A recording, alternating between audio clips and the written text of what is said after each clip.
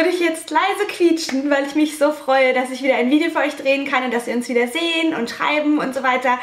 Hi! Vorsicht, Vorsicht. Für alle, die es nicht mitbekommen haben, ich war letzte Woche krank. Ich hatte eine böse Kehlkopfentzündung und ähm, ja, deswegen gab es nicht ein Video von mir und es tut mir sehr leid. Aber es ging wirklich nicht, ich habe echt flach gelegen. Ich hätte wahrscheinlich noch länger flach gelegen, wenn ich nicht so gute Pflege gehabt hätte. Die Leute, die mir auf Instagram folgen, haben Momos riesen Care-Paket gesehen. Die Frau hat einen Oberknall, was die mir alles eingepackt hat, um gesund zu werden. Es hat sehr geholfen. Und mein Liebster hat sich auch sehr, sehr lieb um mich gekümmert und hat alles gemacht, damit es mir wieder gut geht. Und es hat geklappt. Ich bin noch nicht ganz wieder fit, von daher wird das Video wahrscheinlich heute auch noch nicht allzu lang, weil ich einfach noch so ein bisschen auf meine Stimme aufpassen muss. Aber soweit, dass ich ein Video machen kann und das freut mich sehr und yay! Obwohl es letzte Woche nicht ein Video gab, hat der Großteil von euch weiter die Springfield Challenge durchgezogen und dafür mal ein Riesenlob. Ihr seid so super.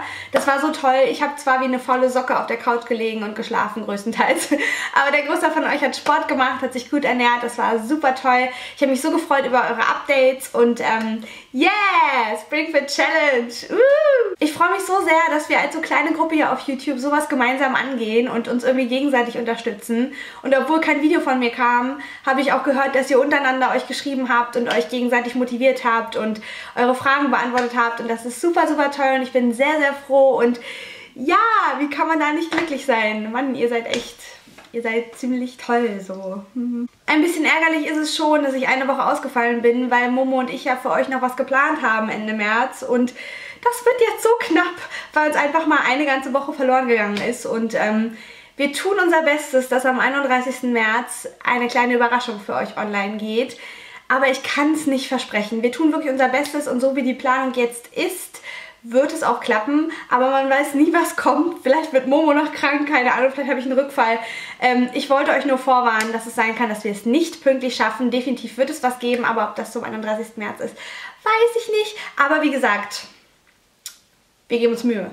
Warum boxe ich die Kamera? Was hat das? Also Hut ab, ich bin sehr, sehr beeindruckt und ich würde sagen, so können wir jetzt motiviert in die letzte Woche der Springfield Challenge gehen. Denn eine haben wir noch und es gibt noch eine Sache, die wir gemeinsam angehen könnten. Und ähm, los geht's! Der letzte Punkt, den wir angehen wollen auf dem Weg zu einem etwas gesünderen Lebensstil, ist mehr zu trinken. Und damit meine ich irgendwas zwischen 1,5 Liter mindestens pro Tag und 3 Liter höchstens pro Tag. Also irgendwas dazwischen. Ihr kennt das alte Blabla. Immer wenn jemand einem erzählt, man muss viel trinken, kommt der alte Spruch, der menschliche Körper besteht zu 70% aus Wasser.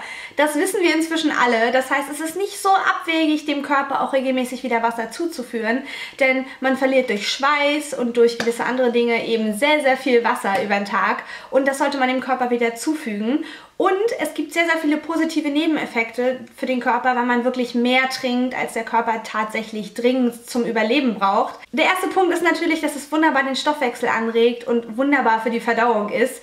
Ähm, wenn ihr wie ich so ein bisschen mit dem Magen- oder Darmprobleme habt regelmäßig, viel trinken hilft wirklich, weil einfach alles durchgespült wird. Es ist wie die Putzfrau, die einmal durch den Körper marschiert. Außerdem ist das Ganze wunderbar für die Haare, für die Haut und es gibt sogar Studien, die sagen, dass das Denkvermögen damit angeregt wird. Das heißt, man kann sich besser konzentrieren, das Gehirn ist wahrscheinlich irgendwie besser durchflutet, durchblutet, wie auch immer.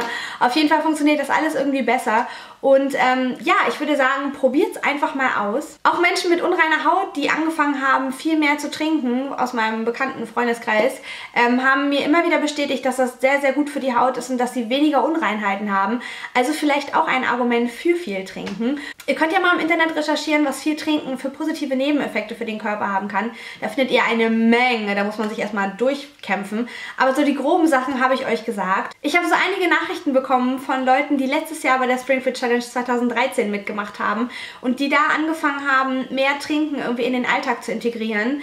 Einfach indem sie sich eine Flasche Wasser mit in die Tasche gesteckt haben oder die auf den Tisch gestellt haben oder sich immer ein Wasserglas hingestellt haben, wenn sie angefangen haben zu lernen. Sowas alles und die das bis heute durchziehen. Ihr seid super, das ist so toll. Und das beweist mal wieder, dass man Dinge, die man in den Alltag integriert kriegt, durchziehen kann, ohne dass es dann immer wieder die Überwindung ist und viel trinken. Sobald man das einmal in den Alltag integriert und einfach sich kleine Rituale schafft, ist es so, so leicht. Und ähm, ich bin so stolz auf euch, dass ihr es bis heute durchzieht. Und ähm, ich mache das übrigens auch.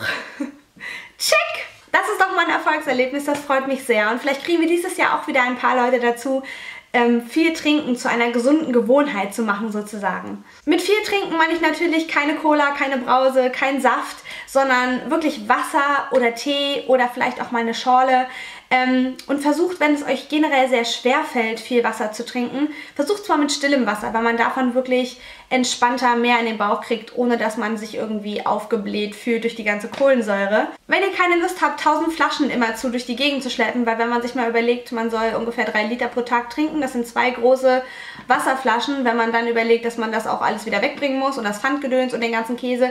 Wenn ihr euch das sparen wollt, wie ich das seit Jahren tue, empfehle ich euch definitiv so ein Wasserfilter. Meiner ist jetzt von Britta. Es gibt aber auch wirklich günstigere Versionen. Von DM gibt es eine. Es gibt den Ma... Ma... Es gibt auf jeden Fall noch andere Marken. Das ist einfach nur ein Filter, wo ihr euer Wasser durchlaufen lassen könnt, euer Leitungswasser, wenn ihr in einer Region lebt, wo euer Leitungswasser jetzt nicht so super ist. Ähm, tendenziell kann man jedes Leitungswasser trinken, aber Manchmal hat man eben das Gefühl, man möchte das nicht so trinken, wie es aus der Leitung kommt. Ich zumindest, vielleicht bin ich da auch komisch. Ähm, dieser Wasserfilter funktioniert ganz einfach. Ihr habt hier oben eine Öffnung, da tut euer Leitungswasser rein, dann läuft das durch diese Form hier und hier unten ist der Filter drin und der filtert euer Wasser und was rauskommt ist gefiltertes Wasser, wo kein Kalk mehr drin ist, wo bestimmte Stoffe rausgefiltert sind und ähm, ich finde, das ist eine sehr, sehr schöne Erfindung und spart einem viel Geschleppe und viel Umgetausche und viel Ärger und ähm, definitiv eine Investition, die sich lohnt, weil so ein Ding halt wirklich ewig. Ein weiterer Tipp ist definitiv, wenn es euch schwerfällt, viel Wasser zu trinken, probiert es mal mit dem Strohhalm. Aus irgendeinem Grund habe ich festgestellt, dass es sehr, sehr viel leichter ist, viel Wasser durch den Strohhalm zu trinken. Ich kann gar nicht so genau sagen, warum. Irgendwie ist es so und ähm, es macht es wirklich leichter. Andere sagen, es hilft ihnen, aus der Flasche zu trinken. Das kann ich auch nachvollziehen. Das funktioniert bei mir auch. Probiert einfach mal ein bisschen rum, was für euch funktioniert. Ihr findet definitiv was, was für euch funktioniert. Wenn ihr generell Lust habt, mehr zu trinken, aber ihr sagt, boah, Wasser trinken geht gar nicht, ich brauche ein bisschen Geschmack, probiert mal euer Wasser aufzupimpen mit ein bisschen Tee. Ich mache mir jeden Abend so eine Kanne Tee einfach, oder ja, jetzt muss ich wieder vorsichtig sein, das ist ja Aufguss, was ich benutze, kein Tee. Ähm, und ich mag zum Beispiel wahnsinnig gern von Teekanner den Herzkirschentee. Der riecht so toll, der ist so angenehm. Ich kann nur nicht so viel Tee trinken. Ich weiß nicht, Wasser geht irgendwie besser und ich mische dann einfach immer ein bisschen Wasser mit Tee und gebe dem Ganzen dann so ein bisschen Geschmack und das ist super toll. Was ihr auch machen könnt, wenn euch das überhaupt nicht anspricht mit dem Tee, ähm, ihr schneidet einfach ein bisschen Gurke klein, tut das in euer Wasser oder ein bisschen Orange oder Zitrone, dass man so ein bisschen Geschmack reinkriegt. Das hilft meistens schon, wenn man einfach diese Brause- und Cola-Sache überwinden will. Und dann geht das Trinken plötzlich von ganz allein und ihr werdet sehen, was das für einen Körper plötzlich für tolle Auswirkungen hat und wie sich alles verändert und so weiter. Und ähm, ja, probiert es auf jeden Fall aus. Wenn ihr jetzt sagt, viel trinken fällt euch so leicht, das ist für euch überhaupt kein Problem, dann schreibt doch vielleicht mal den einen oder anderen Tipp oder Trick in die Kommentare, damit Leute, denen das schwerer fällt, einfach so ein bisschen Inspiration kriegen, was sie machen können, damit es ihnen auch leicht fällt und wir alle vielleicht an den gleichen Punkt kommen.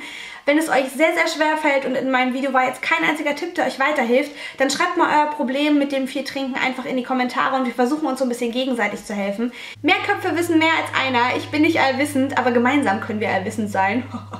Weltherrschaft. So, das war's auch schon von mir. Ich bin jetzt irgendwie so seltsam überlichtet. Ich krieg das hier nicht gebacken mit dem Licht und dem Fenster und was weiß ich. Ähm, wir gehen in die letzte Woche. Ich drücke euch die Daumen, dass alles wunderbar klappt und dass es funktioniert. Wenn nicht, schreibt mir, wie gesagt, wir kriegen das alles gemeinsam hin.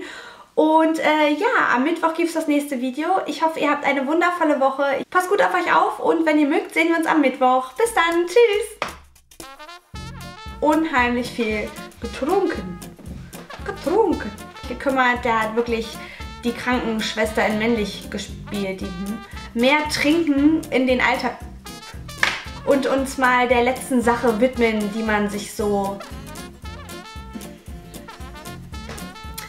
Die man sich was? Ha? Was? Was? Boah, ich sehe aus wie ein Zombie. Integriert, integriert, integriert, gesünderen Leben. Meine Batterie ist alle. Das sind noch die Restmedikamente in mir, dafür kann ich nichts. Das ist eine gute Entschuldigung, oder? Ich habe noch Antibiotikum in mir. Macht Antibiotikum eigentlich halt? Kehlkopfentzündung ist für mich so das Mieseste auf der Welt, weil ich dann echt mal die Klappe halten muss. Es fällt mir so schwer.